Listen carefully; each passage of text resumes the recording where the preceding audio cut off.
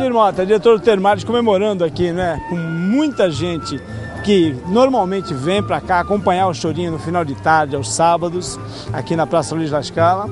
E hoje com muita gente importante aqui, o prefeito, o ex-ministro, né? realmente é um projeto, é uma ação que ganhou uma proporção ali, acima das expectativas, né, Valdir? Com certeza, Pedro.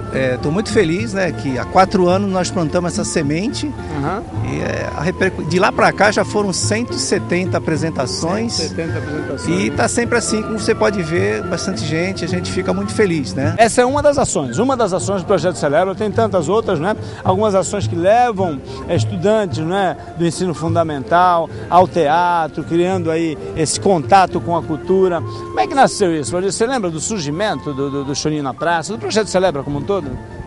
Ah, na realidade, ele, ele, ele veio com a, com a Lei Rouanet, né? Ah. Esse imposto aí que, seria, que a gente arrecada no posto iria embora, não viria para cá. Sim. A gente está aproveitando esse imposto e investindo em cultura aqui para a população santista. É, e vocês veem essa resposta do público? A gente percebe, as pessoas comentam, as pessoas falam muito, né? Uhum. A nossa empresa, é, além da preocupação da geração de emprego, hoje nós já estamos com 1.400, uhum. a gente tem essa preocupação do, da relação integração porto-cidade. Né? É, né? E recentemente nós estivemos conversando lá na Intermodal em São Paulo, né, com a Agnes Barbeito, e ela nos dizia dessa preocupação né, que o grupo tem em investir na capacitação, na atualização, quer dizer, não é só gerar emprego, é também qualificar quem está dentro da empresa para que ele possa né, alçar voos maiores, galgar postos aí de mais importância. Tem realmente né, essa característica o Telecom Intermários acabam tendo esse tipo de iniciativa exatamente para proporcionar sucesso, proporcionar desenvolvimento a quem está por lá, né, Valdir? Com certeza, a gente tem, tem sistema de integração quase toda semana, todas as áreas têm integração, todas as áreas fazem cursos, uhum. que é, é, o conhecimento é a base de tudo, né? Você particularmente está quantos anos? Nós fizemos ano passado a festa de 25 anos do Termários. Eu estou 20 Pode anos. Está 20 anos.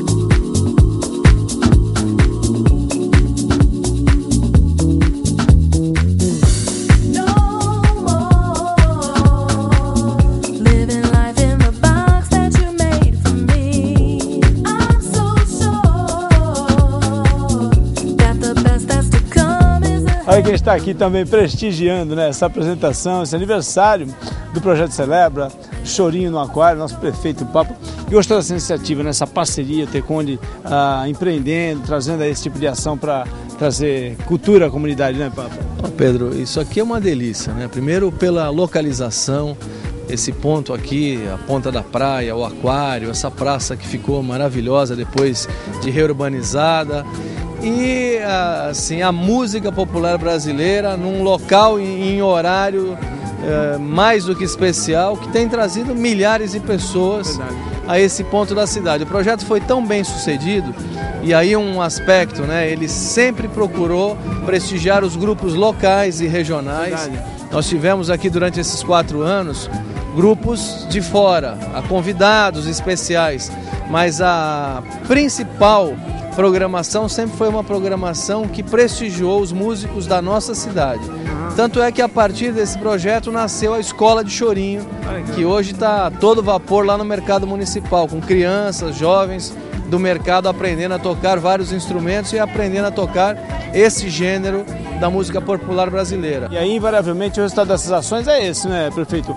A iniciativa de uma, de uma empresa né, que atua na área portuária, trazendo esse tipo de cultura, fomenta o interesse dos jovens, contribui também com o turismo da cidade, né? Um turismo gostoso que vem para cá em qualquer final de semana encontra esse tipo de ação aqui. Eu acho que esse projeto ele sinaliza um caminho novo para a cultura, que é a adesão das empresas, garantindo sustentabilidade com independência da área governamental. Isso é muito bom. Eu fico muito animado, né? Porque eu, eu vejo que dessa forma, poder público e iniciativa privada juntos, nós podemos fazer muito mais em muito menos tempo.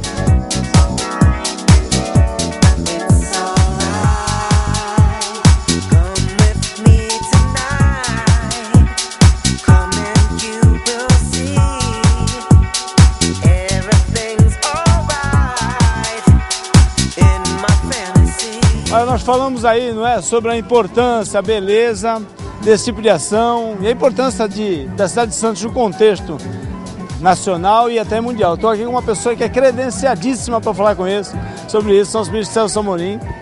Ministro, Santos de fato não é, tem uma natureza privilegiada, tem uma condição que poucas regiões do mundo, o senhor conhece o mundo inteiro praticamente, tem, não é? A região, como você disse, a natureza é belíssima, mas a história também é muito interessante, né? É. Eu visitei hoje o Museu de Arte Sacra, Teatro Guarani, tem um circuito cultural também que pode valorizar muito o turismo. Então, é, atividades como essa completam, né? Porque quem vem visitar uma cidade quer também participar, é, participar conhecer essa história, conhecer as né? coisas, ver o povo e tal. Isso é muito importante. Ministro, me diga uma coisa, olha, recentemente o ministro né, doou aí, não é? Peças importantíssimas, né? Para o acervo do Arquivo Memória de Santos. Eu doei no final do governo, trouxe algumas peças mais recentemente. Basicamente foram assim objetos, como estava comentando o prefeito há pouco, caneta com que foram assinados documentos importantes, ou que foram presenteadas por autoridades importantes estrangeiras, e também condecorações, né, que no fundo narram um pouco uma, uma, uma evolução assim do, do relacionamento meu, mas também do país. Do né? país, tem. É. Então isso eu acho que pode ser muito bem usado de maneira didática uh, para até expor. E eu sou santista, eu nasci em Santos, né? eu não estou doando para Santos assim à toa. Agora eu quero então lançar aqui um desafio, né? desafiar a capacidade de síntese do, do nosso ministro, para que você conte a sua trajetória, a partir da saída de Santos, sua trajetória acadêmica e também profissional, sucintamente. Não, mas muito rapidamente, olha, eu fiz muita coisa na vida e eu acho que isso foi muito influência do meu pai também, que era uma pessoa que, que viajava muito, mesmo no Brasil, me contava historinha, Chico Viramundo e tal. Então eu tinha essa coisa do Viramundo. Mas eu fiz cinema, fui presidente da Embrafilme e fui diplomata de carreira e fui ministro, primeiramente pelo governo Itamar e depois com, com o presidente Lula, os oito anos do presidente Lula. E fui embaixador também, postos importantes. Então eu me considero um santista não quero me comparar, evidentemente, mas é uma terra em, é, em que nasceram muitos diplomatas importantes para a história do Brasil. Não é meu caso, mas era o caso do Alexandre Guzmão, ainda na época da colonial, que ajudou a, a desenhar o, a, o mapa do Brasil como ele é hoje, e depois o nosso querido Andrada, Zé Bonifácio, que foi o primeiro ministro das Relações Exteriores. Então eu me sinto numa boa tradição. não tenha dúvida. Deixa só para a gente complementar, como é, que, como é que você enxerga hoje né, a política internacional, a questão também do modelo, do novo modelo portuário brasileiro, porque a gente fala em relação internacional, a gente passa por, por Porto, né?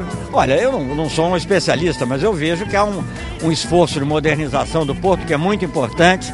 É, inclusive sei que há investimento estrangeiro, até os Emirados Árabes estão investindo aqui, e eu ajudei a tratar um pouco disso também, porque pelas relações internacionais. Agora, eu acho que é muito importante também essa revitalização da cidade. Né? Para que agora também com pré-sal, isso tudo também vai ajudar muito, mas também não esquecer o lado cultural, porque frequentemente a gente diz assim, não, vamos fazer aqui um centro de convenções, é ótimo, mas vamos tratar também da cultura, da história. Eu, por exemplo, fiquei muito contente de visitar hoje o Museu de Arte Sacra, achei muito bonito, e ver agora esse chorinho magnífico, que é também uma parte da nossa tradição, não só de Santos, mas da tradição brasileira.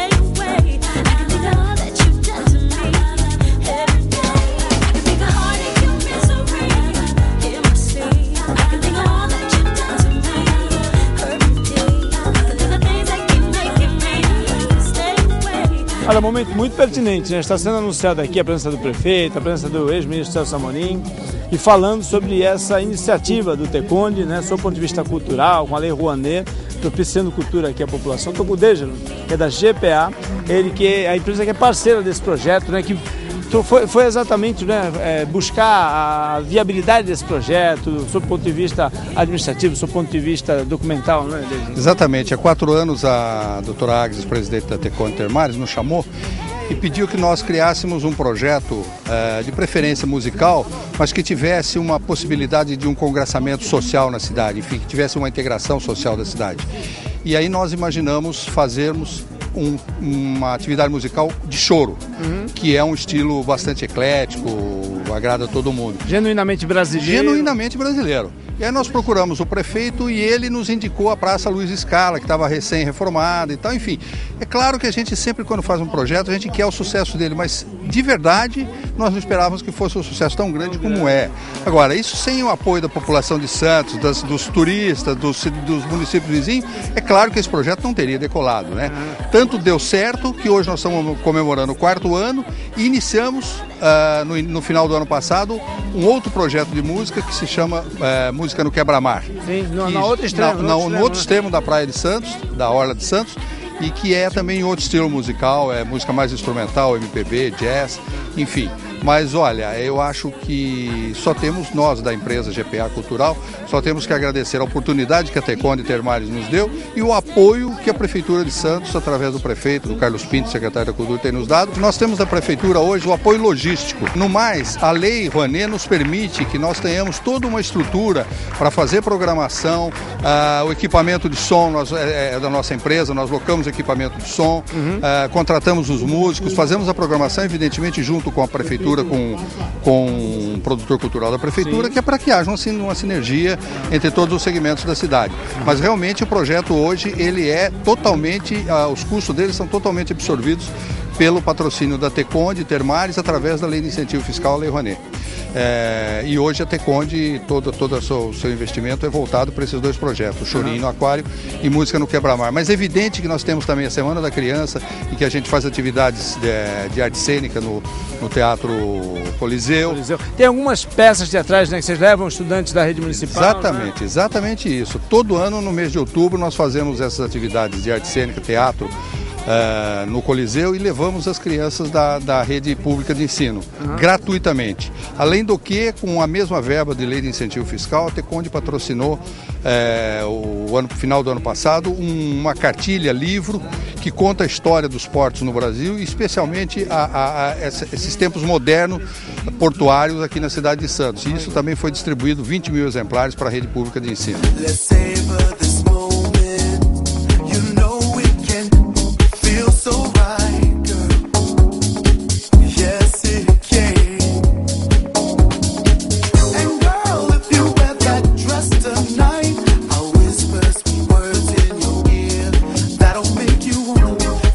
Olha, deixa eu colher a palavra aqui do André Maraliano. O André tem uma história sui generis para a gente contar a respeito da participação dele, da aproximação dele com o Teconde Termales, né?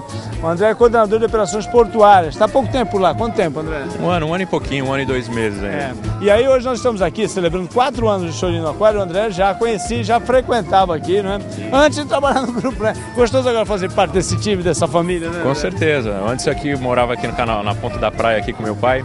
Passava por aqui, e via esse projeto aqui acontecendo, é bacana as pessoas chegando aqui com as suas cadeirinhas já, né? As pessoas, é um público cativo, é um público que já frequenta, é um público fixo que vem aqui.